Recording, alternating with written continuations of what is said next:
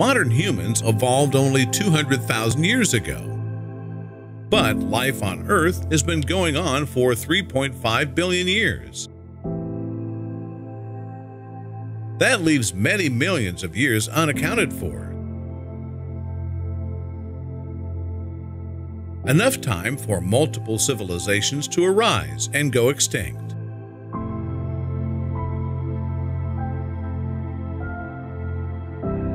What if our species is far older than we believe?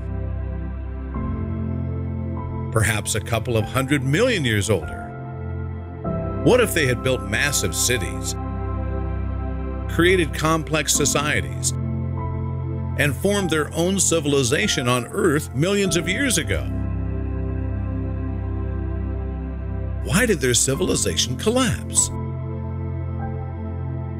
A full scale nuclear war, maybe? World War Zero? What evidence would they have left behind? Welcome to Untruth.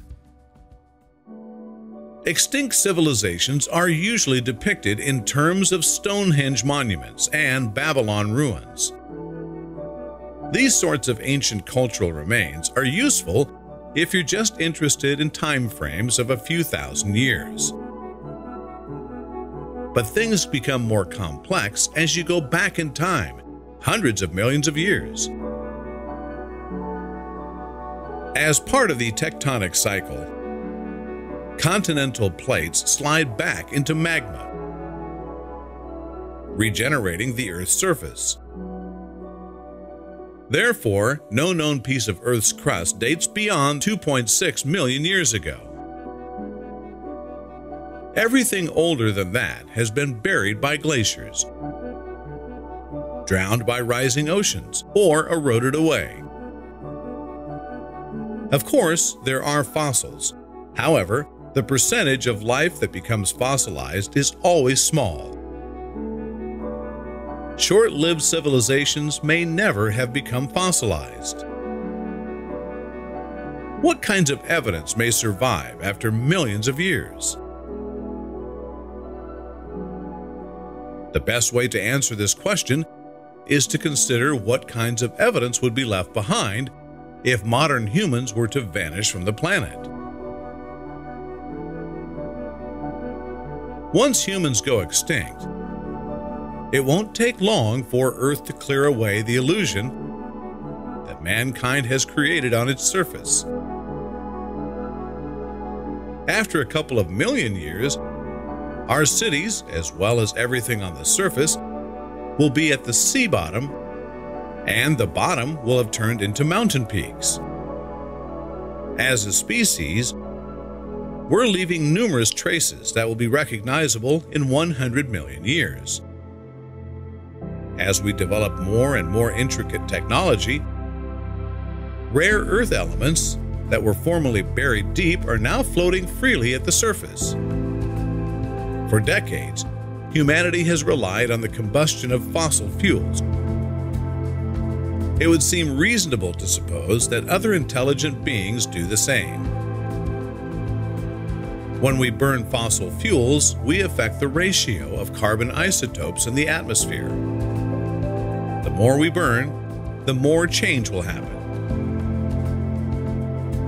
Scientists have found a shift in the ratio of carbon isotopes around 250 million years ago, and another in the PETM event.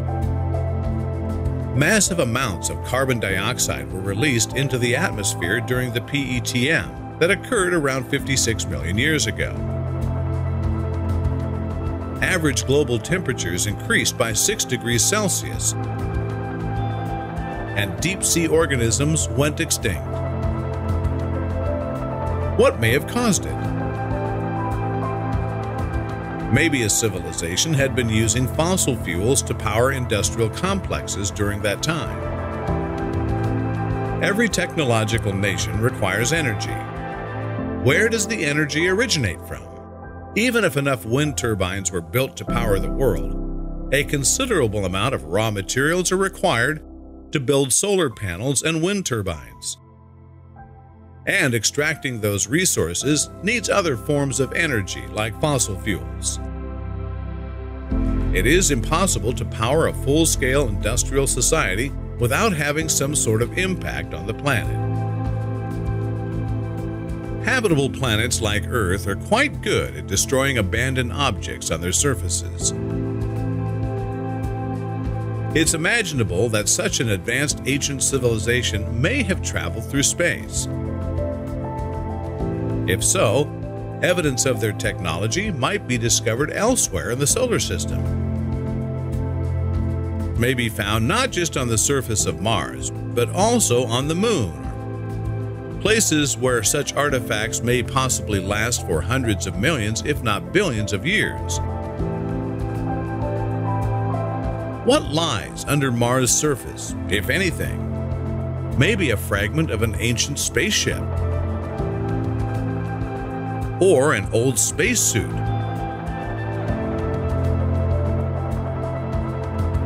What's the scariest thing we could possibly find in our search? A dead human body buried beneath Mars' surface? Millions of years ago? What if we find other humans on another planet? Alive?